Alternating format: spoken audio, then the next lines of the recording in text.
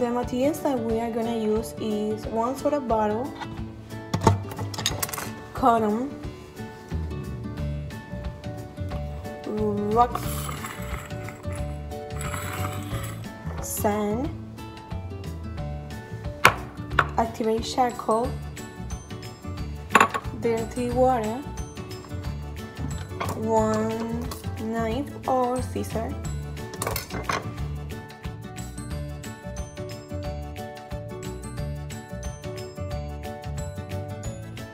Now we are gonna cut the soda bottle like here. Now we are gonna use the knife and we're gonna make a hole.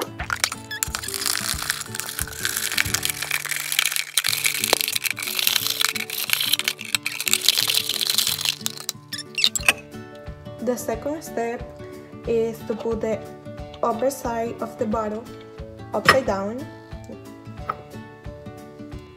and many people use it this way but I prefer to use a cup.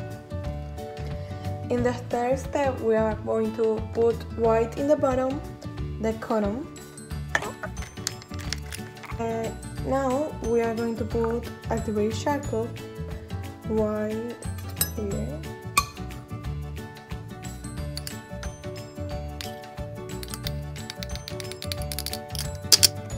Activate charcoal means they have taken hot hair and blown it right through tiny little particles and what it does is it opens up tons of little pores so those pores can catch all sorts of nasty little critters in the water.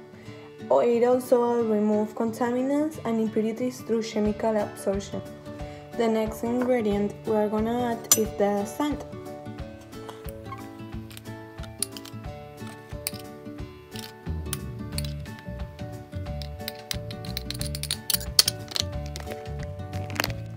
The sand that we use works to remove the fine impurities. Now we are going to put some gravels right on the top.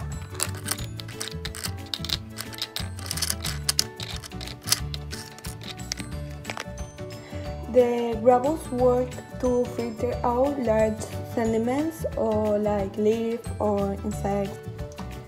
Now we are gonna use the dirty water and we are gonna test the experiment.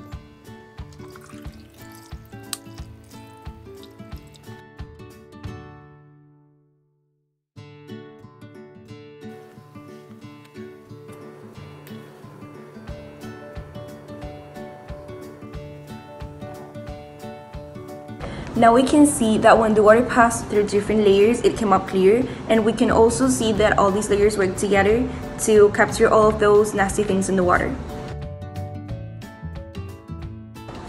Okay, so now I'm talking about the conclusions.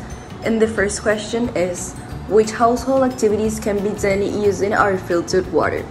So many activities that can be done using our filtered water can be such as um, use the toilet, take a bath, um, brush your teeth, and maybe clean the house. We also do not recommend to drink this water since it may have um, some chemicals or it's not 100% clean. Okay, so the second question is which improvements could you do to your prototype in future investigations?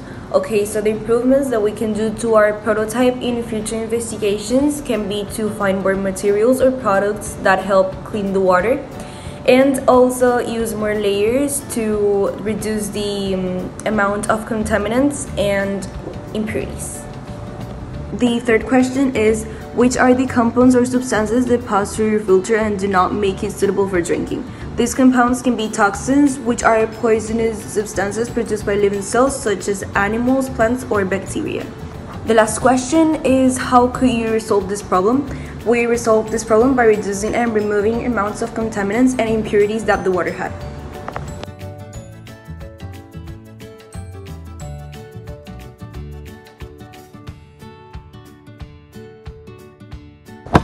Okay, so